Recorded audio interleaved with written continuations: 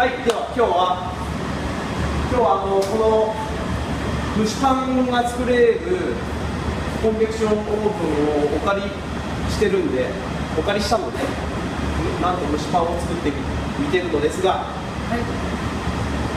まだ蒸せません。この FMI のコンベクションオーブン。なんと今なら117万円テレビショッピングみたいになりましたあ来た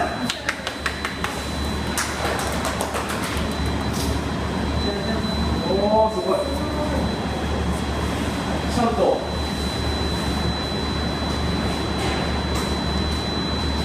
見せてるでしょうか。せーの。じゃん。あ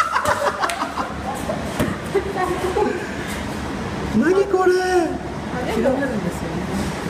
広がるんやね家庭でよく見ます。ちょっといや水入れすぎ？じゃあ後でみんなで食べてみますはいどうですか？え本当に？私はあこれくらいの味です。甘さがでももうちょっとふわっとしとってもいいですよね。多 分えちょっと待って。あの店長には美味しさが足りない。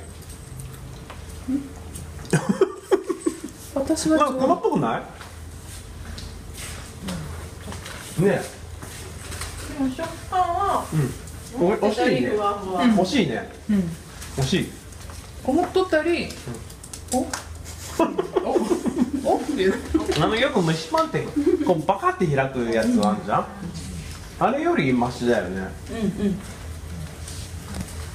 あ粉ついてる。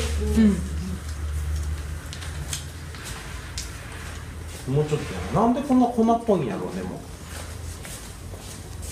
混ぜ方？ん？混ぜ方？全く未知の世界なの。しっかり混ぜた方がいいってことん？しっかりですか？そしたら多分へぎ出ると思うよ。引き引きが出ると思う。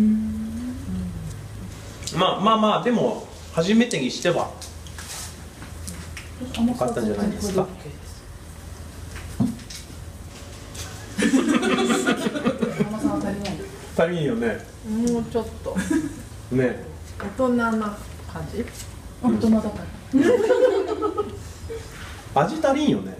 なんだろう。でもこれにさつまいもとかちょっと絞ったらすごいことになったこれ。ギューってやった。これだけだちょっもうちょっと蒸した方がいいんですよね多分。ですね。うん。足りんねこれね虫がね。っていうことでした